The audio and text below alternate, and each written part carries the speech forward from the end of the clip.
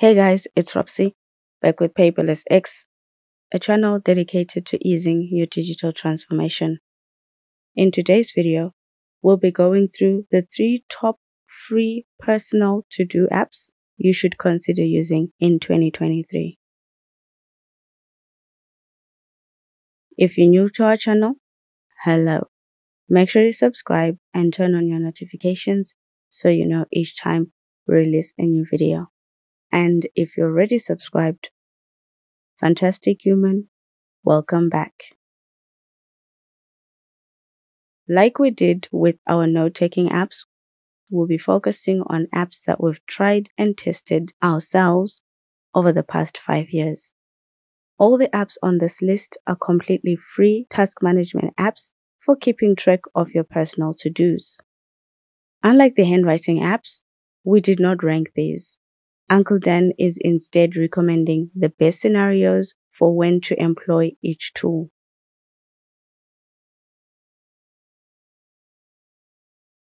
Let's start with Google Tasks. Its user interface is not impressive, but it is very simple to use. Its most significant advantage is that it integrates seamlessly with one of the best cross-platform calendars, Google Calendar. If you're already using Google Calendar, Google Tasks will be a great addition to your workflow. Google Calendar can serve as a task manager, allowing you to create new tasks without leaving the calendar. That way, you can have your to-dos and events in one place. The Google Tasks logo differentiates your tasks and events. To further distinguish them, you can also use different colors, green for events and red for your to-dos, for example. On the web version, you can see your tasks on the calendar or quickly toggle the right sidebar to see all your to-dos in Google Tasks. Sadly, you can't add subtasks to repeating to-dos in Google Tasks. The app doesn't have smart lists, which could ease how we organize our tasks. And you can't attach anything to your tasks. All these are crucial for a decent digital workflow. Google Tasks is also not a good standalone app. For collaboration, you have to use it with Google Chat. Jumping around from Google Tasks to Google Calendar and Google Chat can be very confusing. It is better to use Microsoft To Do, which is a better standalone app. Microsoft To Do is available on all operating systems, just like Google Tasks.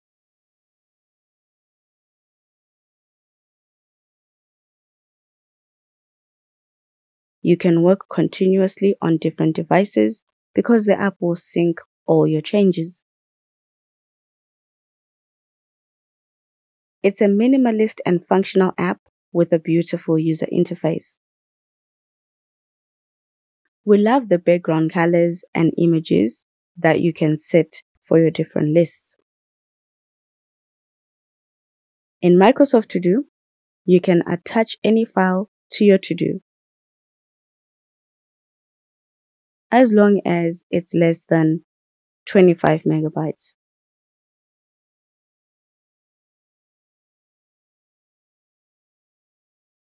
The app doesn't limit the number of items you can attach to your tasks. We managed to add more than 10. What are the chances you will need more than that?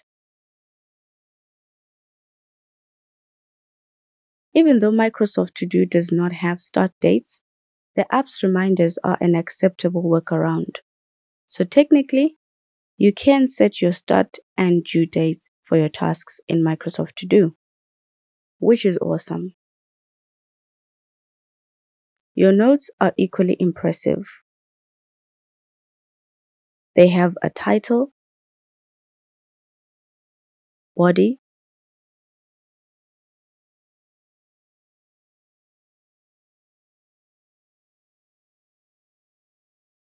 and subheading. You can also add numbered and unnumbered lists.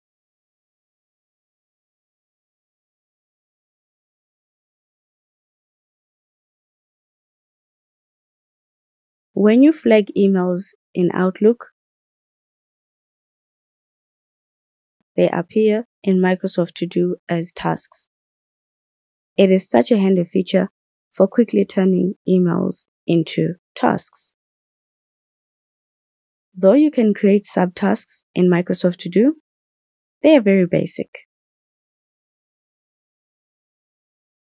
You can't add any details to them.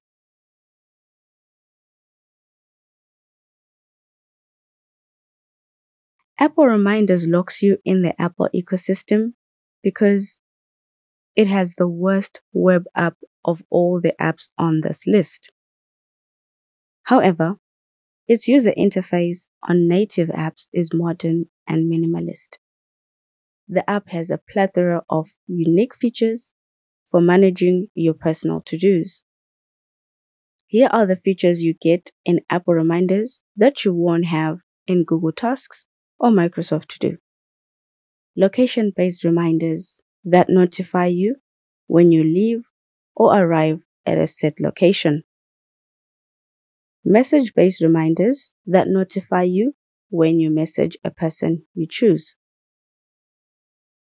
Detailed subtasks that are as detailed as your main task. Hourly repeating reminders which is the shortest repeat cycle we have seen in any to do app. Custom smart lists with a lot of filter options.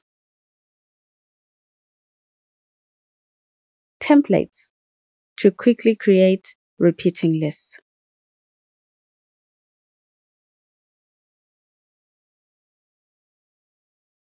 So if you have any list that you continue using, maybe every week, every month, or every day, you can save it as a template in Apple Reminders.